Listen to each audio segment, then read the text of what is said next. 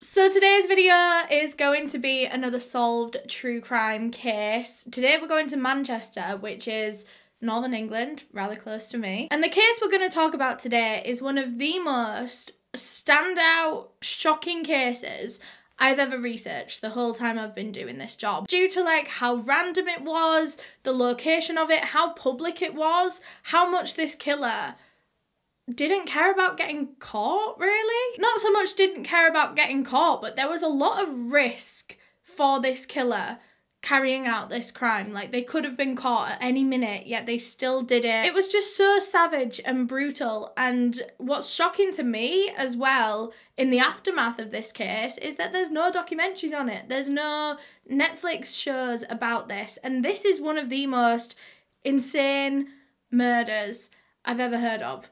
So today we are going to be talking about the bus station murder of Shirley Leach. But before we get into it, I just want to thank our sponsors for today's video, Casetify. Casetify are a really cool phone case brand with military grade drop protection on their cases and they're actually cute, which is pretty much unheard of to have a really good sturdy case that isn't going to break plus it looks nice. The military grade drop protection means that your phone is protected from drops of up to 6.6 feet. Some of their cases are even almost 10 foot drop tested. So that means they've done the test, they've dropped it from all these different heights, and the phones didn't smash when they were dropped in these cases. And I'm renowned for being the clumsy one of my group, and I can firmly say that I have never smashed one of my phones when it's been in a Casetify case. Like I said, it's hard to find cases with so much protection for your phone that aren't big and bulky and ugly, but Casetify have so many different cases and designs,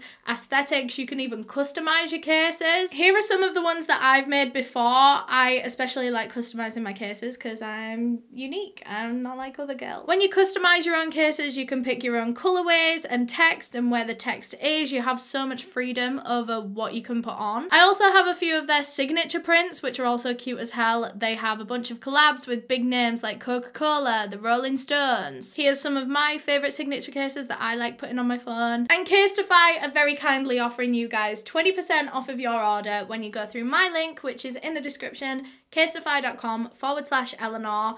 Thanks again to Casetify for sponsoring this video and now let's get into it. But before we do, I just want to give my usual disclaimer that I mean absolutely no disrespect to anyone that I talk about in this case. This video is for educational purposes and everything I'm about to say is just information that I have found on the internet and I'm compiling into one video. Just a warning before we get into this one, this case does involve themes of sexual assault and rape so if that is something that you don't want to watch, feel free to click out now. I'll be back again soon with another one that hopefully you can watch. So today's case takes place in Bury, which is a town in Greater Manchester in the north of England, on January 7th, 1994. A local couple were just coming home from a night out. It was around 4am at this point, and they decided to stop off at Bury Interchange, which was the town's bus station, and use the toilets, since they were the only public toilets that were really open at that time. So the man went into the men's toilets, and the woman went into the woman's toilets. And when she walked in, there was only one cubicle available because they block off all the others and just leave one for during the night. So this woman approached the only stall that was available, but when she pushed open the door, she discovered a horrifying scene. There was a woman's dead body lying on the floor of that cubicle. She was naked, covered in blood, and seemingly mutilated. So, this woman that just discovered this screamed, ran outside, and called police immediately. When they arrived, the whole area was cordoned off, and investigators began looking at the crime scene and the surrounding areas for any clues as to maybe who did this or who this victim was. The body seemed to be that of an elderly woman, however, like I said, it was mutilated so bad that even that was kind of hard to tell. It was a difficult crime scene to investigate because this was a tiny little dirty toilet cubicle. There wasn't uh, much room in there for investigators to kind of walk in, get a 360 view of the body without actually touching or moving any kind of evidence that might be important. It took almost 14 hours for the victim to be identified, but finally police had a name.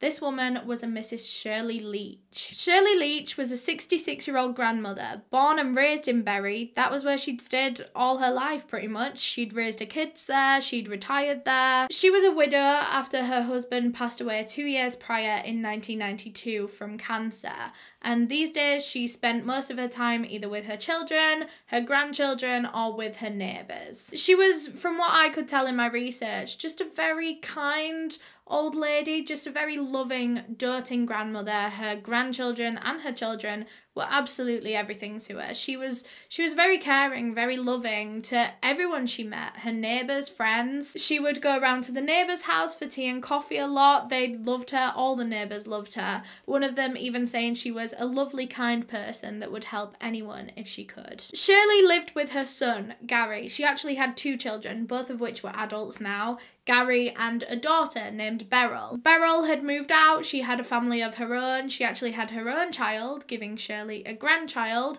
19 year old Darren, who Shirley was actually very close with. The two of them, Shirley and Darren, shared a love of music and they always used to go to record shops together and talk about new artists. He said that Shirley even knew more about current artists than he did. She was very young for her age. Darren described Shirley as being more like a mother to him, like a second mother rather than a grandmother. They would go out and have a laugh together and go to the pub and you know, they would they just had a very close relationship. He recalled his grandmother being a very generous woman. She would always help him with finances here and there because this was a 19-year-old boy. He doesn't exactly have you know, all of his finances laid out. He's not at the peak of his career. And she knew that, and she would just give him a little bit of extra money here and there when he needed it. He didn't even have to ask for it. Darren's mother, Beryl, Shirley's daughter, was actually in hospital at the time of Shirley's murder. She'd been in hospital for just over a week at that point. I don't think it was anything serious. I think maybe it had just been an accident or something like that. But of course, this meant that 19 year old Darren was kind of looking after himself in his house for once, and so Shirley would help him out buying him groceries and stuff like that, just because she was a very generous woman. On the day of her murder, on January 6th, 1994, Shirley Leach had been out with her grandson Darren. They'd first been to visit his mother, her daughter Beryl, in Fairfield Hospital, and then on their way home, they decided to stop off at a pub. They only had one drink or maybe two, and then Shirley decided that it was probably time that she was going home. It was winter, it was getting dark outside, and it was getting rather late. It was pushing nine o'clock at this point, and she needed to get two buses home. So they both hopped on the same bus that headed to Bury Interchange, and Darren got off a couple of stops before Shirley, who would stay on it all the way to the interchange and then get her second bus. So Darren says goodbye to his grandmother, gets off the bus, waves her off, and watches the bus drive off. And that was the last time he ever saw his grandmother. Shirley arrived at Bury Interchange around 9:10 p.m. that night, and she was seen by multiple people. She was safe and well at this point. There were actually two nurses on her bus that got off at the same time as her that recognized her from the hospital. So they were able to confirm that to police that she got to the bus station safe, she was there safe. But then Shirley made her way to the bus stand that she would get her second bus from, and she realised that she'd just missed it. And she'd never missed this bus before. She'd always made this connection every time she'd come home from the hospital. And what's worse, this was the first time she'd ever done that journey alone. Normally, at this point, for her second bus, she would be with another family member because they tended to go to the hospital in groups. So it just so happened that the first time she ever missed her connecting bus, she was also alone at night time. So anyway, she gets to the bus stand. She realizes that her next bus won't be there until around 9:40 p.m. So she had about 20 30 minutes and she decides to go to the toilet while she waits. The toilets were on the opposite side of Bury Interchange and they were actually on the outside of the building, so the door to get in was outside rather than inside. So the likelihood of anyone seeing Shirley enter or leave the toilets was very low. She was spotted making her way across the interchange around 9:15 p.m. that night. She was spotted by one of the nurses that recognized her and within 5 minutes of that sighting, Shirley Leach would be brutally murdered. Her body was taken for an autopsy, and it was found that despite all of the blood, there was a lot of blood at this crime scene. Her cause of death hadn't actually been from all of her wounds, it had actually been from strangulation. And it seemed that there'd actually been quite some time between her actual murder and the time that she was mutilated. They believe it was done, of course, after she was already dead and with a smashed glass bottle that was never found. One of her breasts was fully amputated, and that too was never found. It wasn't left at the crime scene. They believe that the killer took it as some kind of trophy. There was that, along with just a lot of other cuts and wounds in her whole body. Perhaps the killer was trying to make the body unidentifiable so that it couldn't possibly trail back to them. Say if the killer had bitten Shirley during this attack, then there would be a teeth imprint on her body, and that could be checked against dental records, and that would easily lead to a killer. And there was actually saliva found on Shirley's body. So it seemed that that was the most likely case. Maybe the killer remembered after the attack that they'd bitten Shirley and then returned to her body to mutilate her and possibly cut off her breast that they'd bitten. That saliva sample that was found on Shirley's body was DNA tested, but nothing was found. This was the early 1990s, so DNA testing wasn't very good. There was also a fingerprint taken from the crime scene, but same thing again, there were no match results on the database. And as I said, there was a lot of blood at this crime scene. However, when it was all tested, it seemed that there were two different blood samples. Of course, one of them a match to Shirley Leach, but then the other one didn't have a match, so it's believed that that was her killer's blood. Maybe Shirley had hit her attacker, been defending herself, and, you know, caused them to bleed all over the crime scene. That could be a potential huge lead in this. And it was also found in her autopsy that 66 year old Shirley had been raped as part of this ordeal. Police had thought that would be the case, some kind of sexual assault alongside the murder, due to how her body was found. She was found naked, but the autopsy did confirm that. Some sources say that Shirley's dentures and her clothes were found on the floor of this toilet cubicle, although I'm not 100% sure that that's accurate, so I thought it was worth mentioning, but again, not sure if it's true. The murder was theorized to have taken place between 9:15 p.m. and 9:20 p.m. that night, which yes, it is late, but this was a bus station, an interchange as well, so it had a lot of people coming and going at no matter what hour it was. So police thought that surely someone in that bus station had to have seen something that night. Maybe someone following Shirley, hanging too close to her, someone hanging around the toilets, maybe. So the original public appeals in this case really focused on getting witnesses that were at the station that night to come forward to police with any information they might have because there was no way of tracing everyone that was at the bus station that night. So they were just kind of hoping that someone might see the appeals and voluntarily come forward. A man named Gary O'Neill saw the news and got in contact with police because he too was just getting off of a bus at Bury Interchange around 9 pm that night, the same time as Shirley would have been. He said he was just walking in the direction of the toilets once he got off the bus. He wasn't going to the toilets, but like he was walking in that direction, he could see it. And there was a man standing outside of the toilets that night. And, you know, on a normal day, this wouldn't have been suspicious, so he didn't really think much of it. However, now that he knew a murder had taken place inside the toilets, he wanted to come to police and kind of describe this man. He said he thought the man was either in his late 40s, early 50s. He was wearing a long, light coloured coat, maybe a flat cap, and a green bag but that was all he could really tell police. Another female witness came forward to police saying that she was in Bury Interchange around 8:30 p.m. that night. So that's about 40 minutes before the murder would have taken place. And she said that she'd come across a very suspicious man. This man had approached her and he wouldn't leave her alone. He was asking her loads of questions. He asked her for a cigarette. He was kind of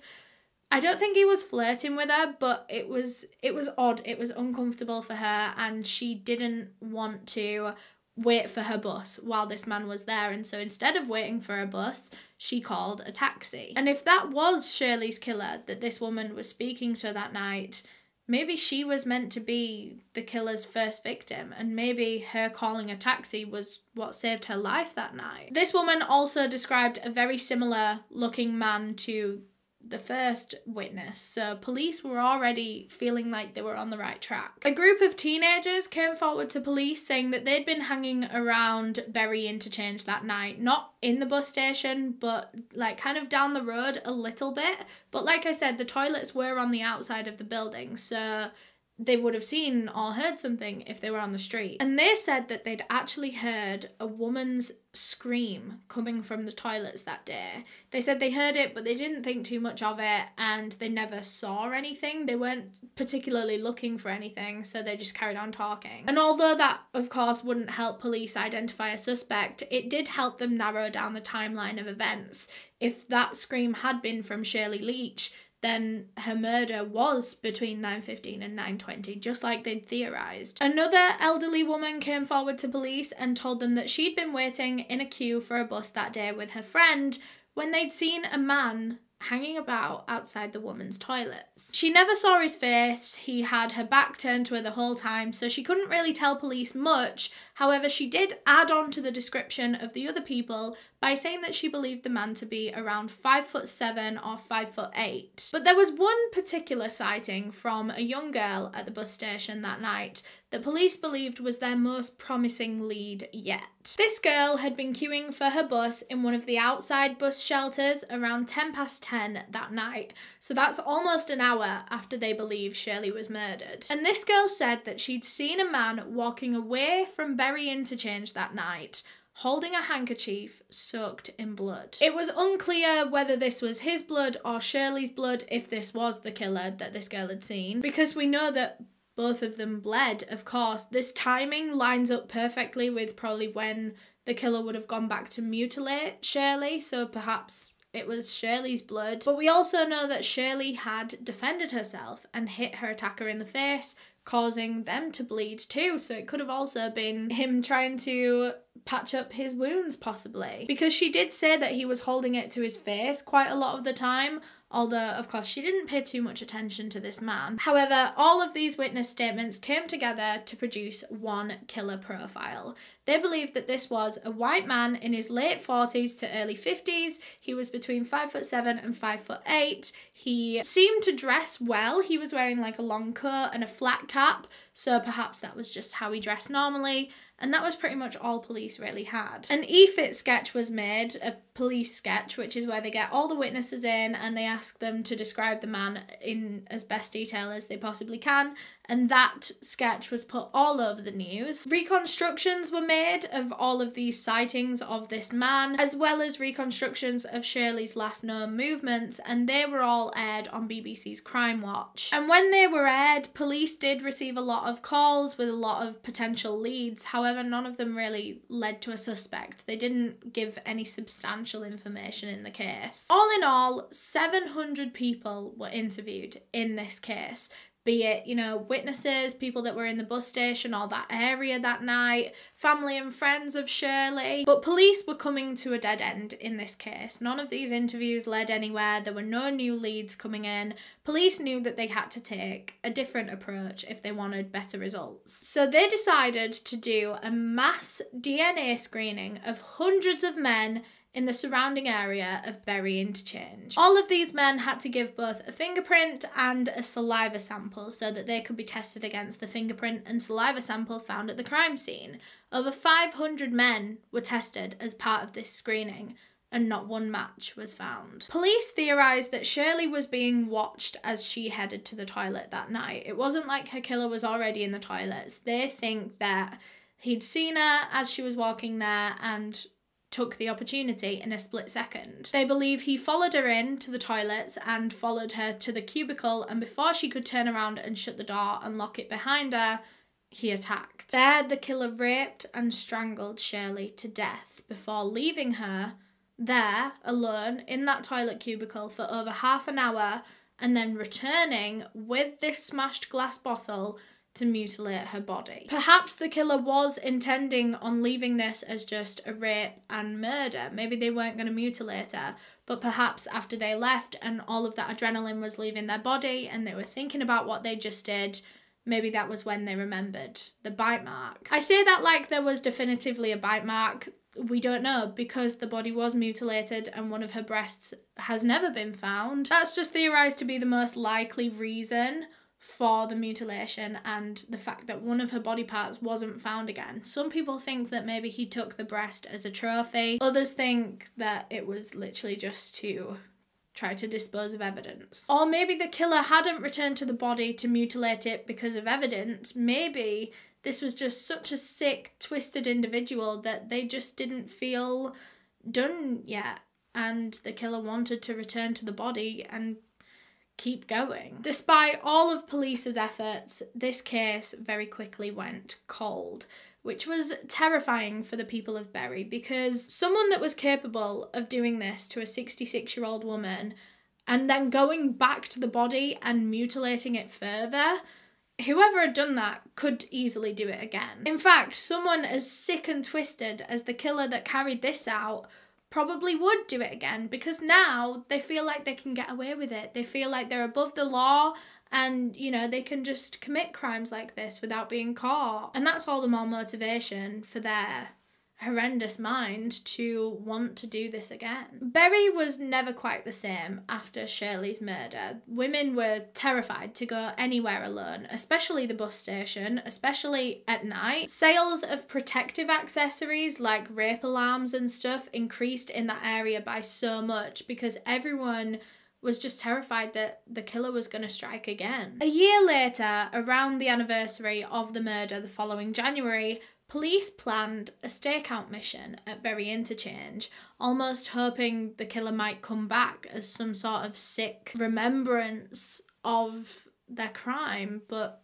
they didn't see anything. Years and years went by with no real developments in this case, although Shirley's family never stopped fighting. They were doing continuous appeals and always campaigning for Shirley's killer to be brought to justice. And in this time, since the murder, Shirley's daughter Beryl had actually developed a form of mouth cancer, which her doctors believe was brought on or worsened from the stress of going through this, through the loss of her mother in such a horrific way. Through the investigation, of course, police had checked any and every CCTV camera they possibly could in that area. However, it was the 1990s, so both camera quality and the amount of cameras in areas wasn't very good. Having security cameras everywhere on pretty much every single building is actually quite a new thing, and back then they were only on like important buildings that had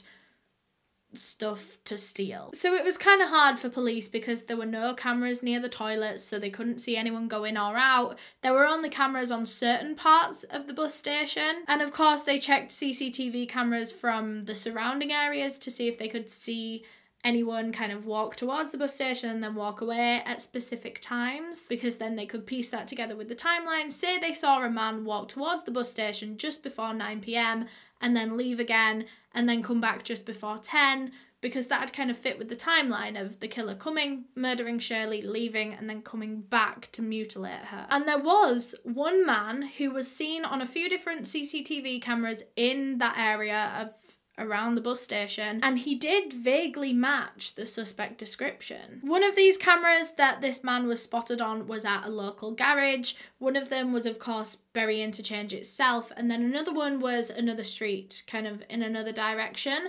And at one point on these cameras, this man is seen running which is rather suspicious. So a screenshot from this CCTV footage was taken and it was plastered all over the news, with police saying if anyone can identify this man on the CCTV footage to come forward and give a name. This man was mostly bald, he had a ring of bushy hair around this kind of area of his head, and he seemed to have one limp arm that kind of stayed by his side, even when he was running and he was using the other arm.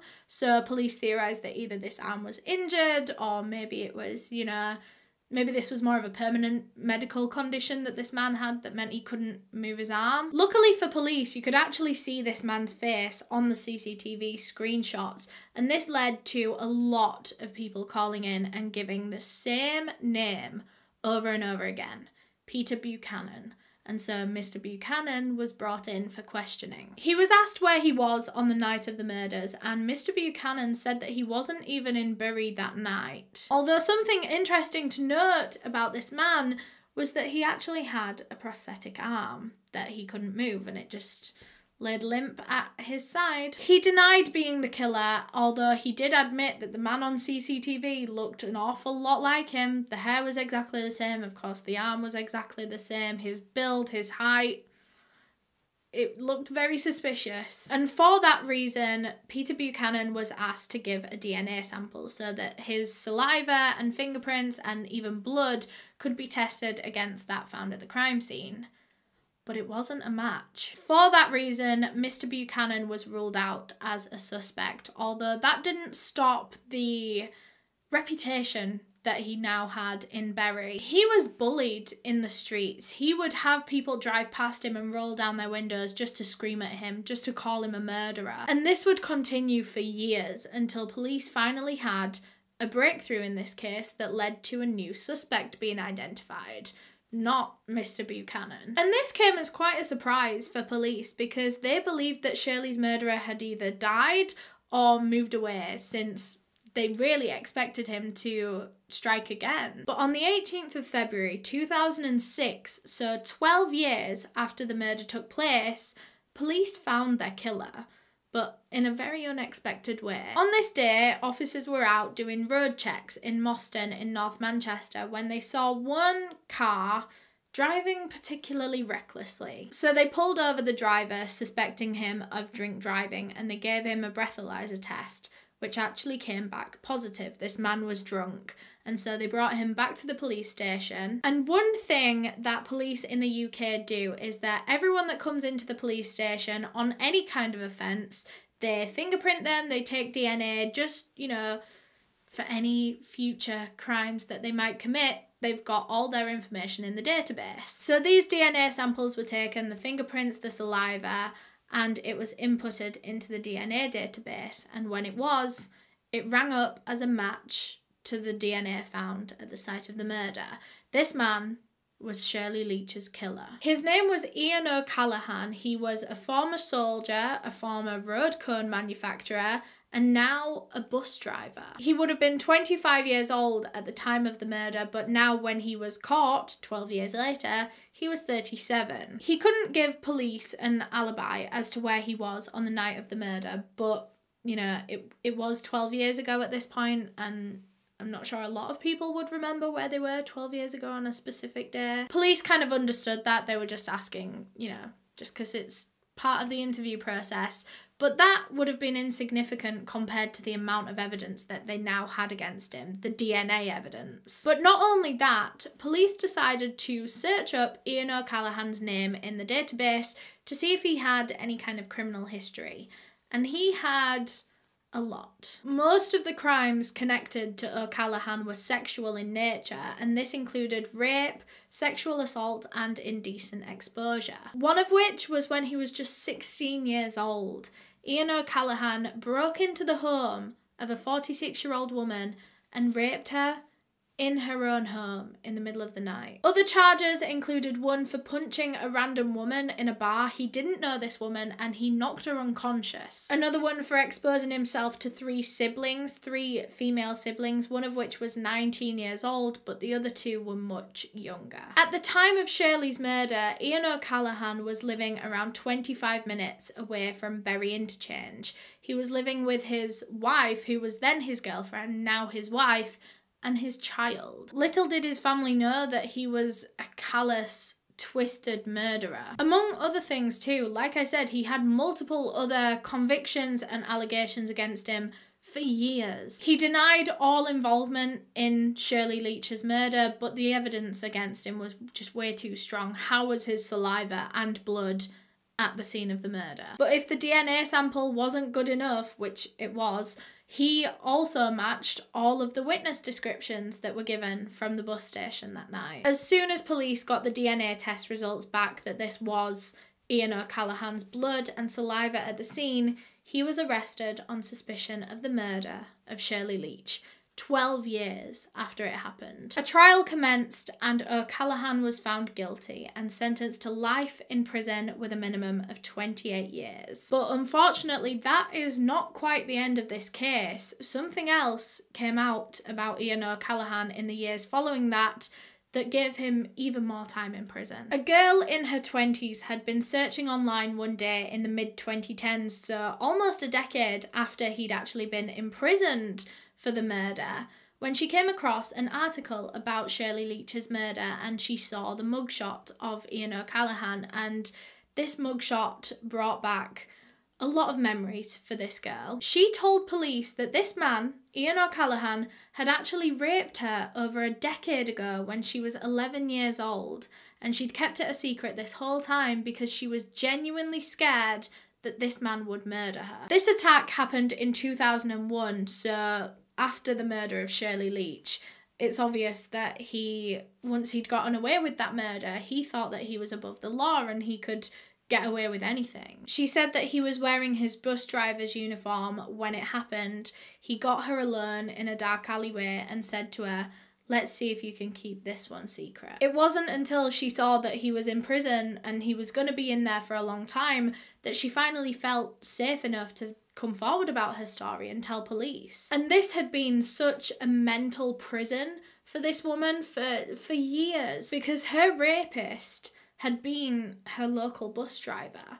And so every time, pretty much every time she would go to the bus station, she would have to see him there and pretend like nothing had happened because she was too scared that he would kill her. In 2019, Ian O'Callaghan was taken to court for this incident as well, and he was given a further 16 years that would run alongside his trial that he was facing for the Shirley Leach murder. Of course, that doesn't add any time to his sentence, but it was more just about this woman finally getting justice, this crime getting put on his record, because when it does finally come to the point where he will be applying for parole 28 years into his sentence, which I think is in about 12 years now, they'll see that extra charge as well, and that'll be taken into account when they decide whether he is suitable to leave or not, which will hopefully mean that he will never leave because now there's two charges against him. I hope that makes sense. I explained that in the most confusing way possible, but that is all I have for this case. Thank you so, so much for watching. As always, if you want to help me out on this video, make sure you leave a big thumbs up if you did enjoy it. Thanks again to Casetify for sponsoring this video. If you want to get 20% off of a cool new phone case, make sure you're going through my link, casetify.com forward slash Eleanor. A huge thank you to all of my channel members for helping me decide the cases that I cover, especially my tier 2 members whose names are all on screen right now. If you want to become a channel member, you can just click the join button on a desktop or there'll be a link in the description of this video. But yeah, thanks again for watching this video. If you want to subscribe, there'll be a link right here. If you want to subscribe to my second channel, there'll be a link right here. And if you want to watch another video, there'll be a playlist on screen right now. Bye!